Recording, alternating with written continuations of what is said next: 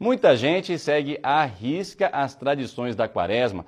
Esses 40 dias são de reflexão e devoção, época para ficar mais próximo de Deus. O jejum, a abstinência, a oração, para os católicos, tudo faz parte dos princípios da quaresma.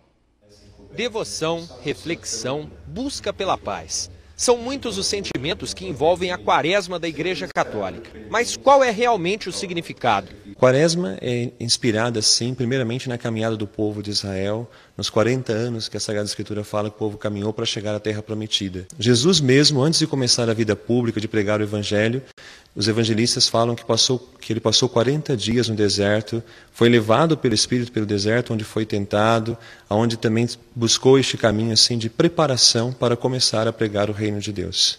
A quaresma é chamada assim porque teoricamente dura 40 dias. Porém, se somarmos os dias corridos, são 47, já que de acordo com o cristianismo, o domingo sempre é dedicado a Deus e não conta. Após esse período começa o Tríduo Pascal, que termina no domingo de Páscoa. E durante esses dias, Padre Leandro explica que o mais importante para os católicos é aproveitar o período para se aproximar cada vez mais de Deus, principalmente com atitudes. Existem três práticas fundamentais: a oração, que nos leva ao encontro com Deus, a prática da caridade, da esmola, que nos abre ao encontro com o próximo, servir o próximo, visitar um doente, atender uma pessoa necessitada, e o jejum e abstinência. Né? O jejum nos privando assim da alimentação em alguns dias que são recomendados pela igreja, não? Para nos deixar assim nessa atitude de maior liberdade diante dos bens deste mundo, na espera dos bens eternos.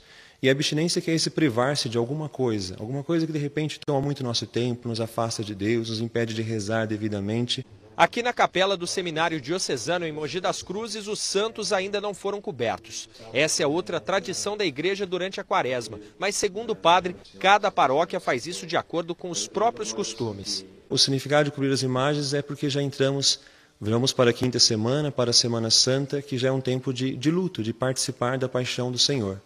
As imagens permanecem cobertas aí até amanhã do Sábado Santo, que é o sábado de Aleluia. Rafael sempre seguiu à risca as tradições da quaresma. De família religiosa, aproveita esse tempo para se espiritualizar cada vez mais. Inclusive, lembra muito bem das penitências que já fez. Eu já fiz desde é, substituir uma refeição e durante os 40 dias ir à Santa Missa todos os dias, me abster de carne durante os 40 dias da quaresma, em outras ocasiões até refrigerante, chocolate. Cada ano a quaresma tem um significado, por isso ele acredita que as pessoas devem aproveitar para levar isso como prática para toda a vida.